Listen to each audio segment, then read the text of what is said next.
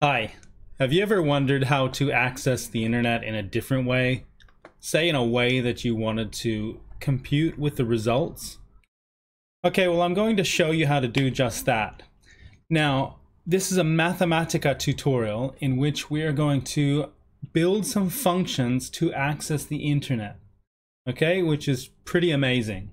Now, I did a video a few days ago called How to Rewrite Articles Automatically, where I used a dictionary or just a list of words that I obtained online and I started programming with random words, replacing a poem or the words in a poem with some random words. Well, I've got that list in front of me now, but I'm going to do something different with this list. I'm going to uh, go and search on Google a combination of some random words, okay? And actually open up the website. But to do this, you have to take great care, right? Because this is the entire collection of English words and you don't want to search something illegal, right? And that could happen.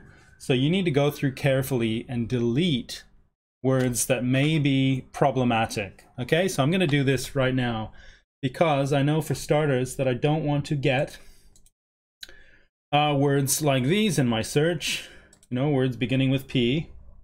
So I'm going to go through this list and delete them um, because I don't want to search that, okay? I want this to be a clean exercise. Um, so pause for now.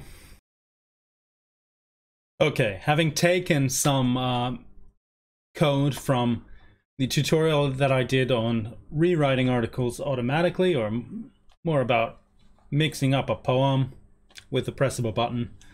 Um, I will now show you what I've built to do with that URL that I was going to build and click.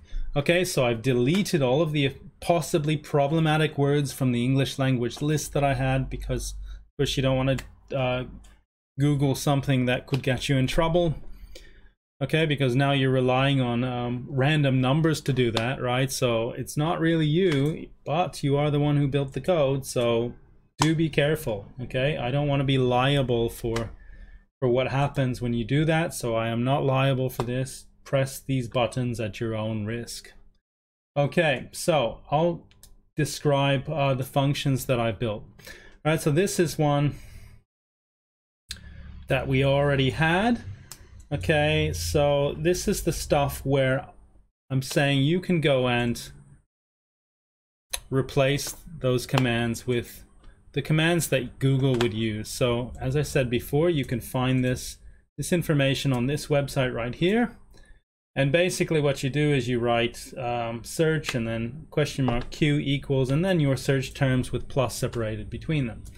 Okay, so that's what we would do um, to do that. Now, um, so this would open up the question, are rats smart in Google? All right, so let's just do it now you see it opens up this website and it's got that question here, are rats smart?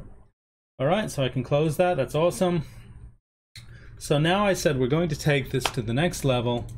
And so I've said, well, the dictionary I ha had in memory that I put in memory was S, and that's string split. So what that does is it um, puts commas between and creates a list out of the words. All right, n is the length of the the new list of words t, and those words are strings. All right, then z equals our rat smart. Now I don't think I actually need this. All right, and then I've got y equals string split z. Okay, this I didn't actually need, but anyway. All right, now I've got a function that uh, that just generates a random word. It's a function of k, but k is actually irrelevant. All right, so this will just pull a random word out of that list. Okay, then I build another function that gives me x random words. Okay, a function of x called Tina gives me x random words or a list of x random words. Uh, okay, so then what I want to do is join those x random words into one string separated by a space. And that is called Tom. And I'm using the built-in function string riffle right, which I'm applying to the function tina of x. okay, to give me one string of X random words. Next, I want to replace the pluses by spaces so I can use this in the URL of a website. Okay, so I'm going to again use WAP, what I already created uh, for Wolfram Alpha, and then P for some other word I had. Okay, so what that does is replace the spaces by pluses to make that suitable for searching. All right, but we already had that function. Okay, now I create a new function of x. And what that does, where x is a whole number, is it gives me um, the string of x words with pluses where the spaces are. And they're all random right? So x random words where the where there are pluses where the spaces were. Okay so that's the function sandy. And then I could execute it and see the print just to double check that everything's working the way ex I expect okay next I've called this one goo rand for uh, Google and rand for random.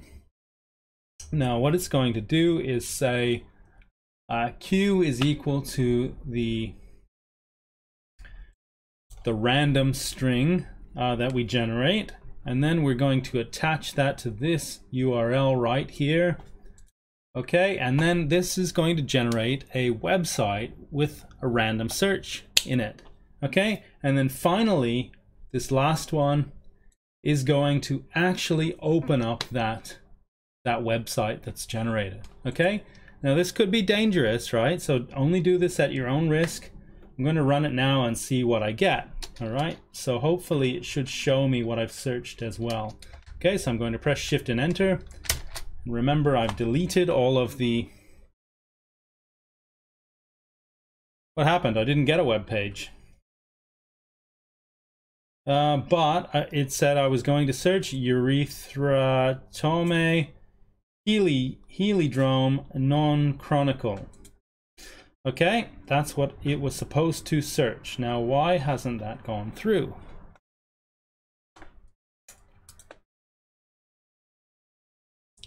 So what about, okay, so Sandy seems to work. If I press this, that seems to work.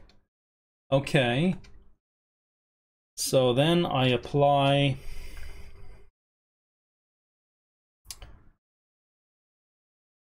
string join. Okay, that should work.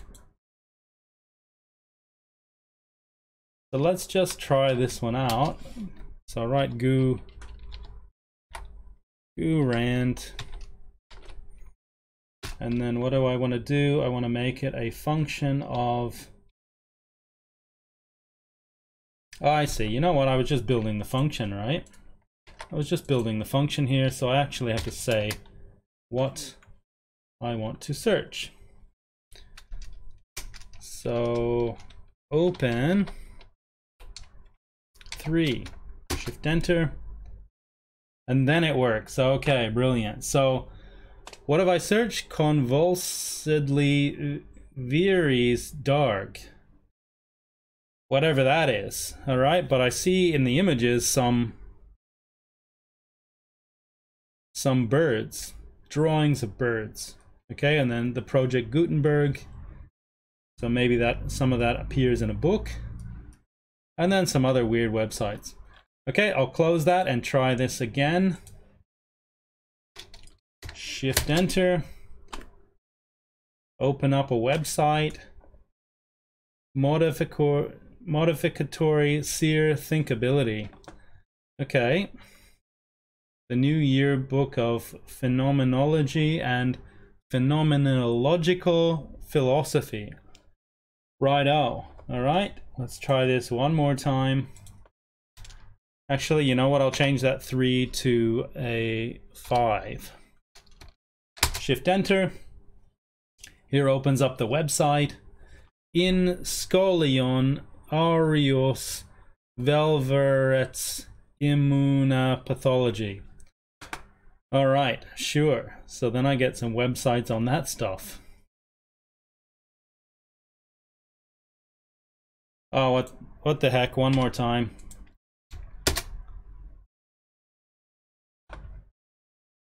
Terrific.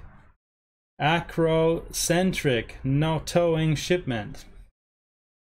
All right, so you see, you can do some amazing things with uh, Mathematica and the Wolfram language, but do take care. Do this at your own risk. Make sure that all of the offensive words or problematic words to search are out of your dictionary before you do it. All right, that's all I have for you for now. I'll see you next time.